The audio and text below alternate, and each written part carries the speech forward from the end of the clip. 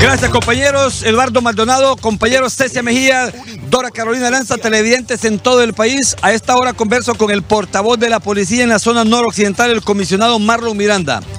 Tres jóvenes que supuestamente ayer se dieron por muertos y que hasta los propios eh, familiares llegaron a la morgue a reclamar los cuerpos. Aparentemente, no es que aparentemente don Eduardo y compañeros están vivitos y coleando están vivitos y coleando. Estos tres jóvenes, pues se había informado que habían sido eh, ultimados en el sector de la aldea Santa Marta de la, del municipio de Moa, departamento de Cortés. Comisionado, se ha mandado personal de la policía a constatar al lugar, a la mera aldea Santa Marta, y se ha comprobado que no hay ningún muerto en esa zona.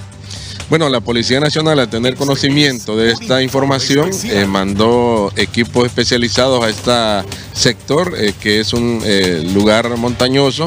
De esa manera, los equipos regresaron y pudieron constatar de que la información no era correcta.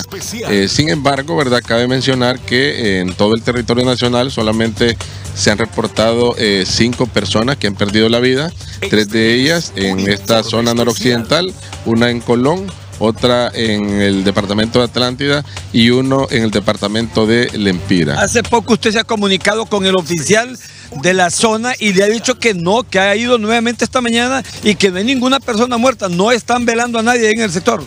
Bueno, él manifiesta más bien que los familiares están eh, sorprendidos, ¿verdad? Porque esta información andaba circulando y ellos eh, fueron a constatar a la medicina forense. Sin embargo, como le menciono, ya la Policía Nacional eh, hizo lo correspondiente, verificó en esta zona e incluso se verificó también el departamento del Empire, en vista que se reportaban que eran cortadores de café y también la información fue negativa.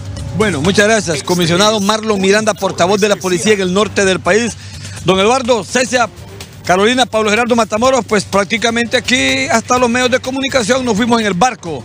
Nos fuimos en el barco porque llega el noticiero en horas de la tarde, en el noticiero vespertino, con Pablo Gerardo Matamoros, entrevistábamos a familiares a familiares de estas tres personas y todo parece indicar que no hay ningún cuerpo en los cuartos fríos de la, de, la morgue acá en San Pedro Sula.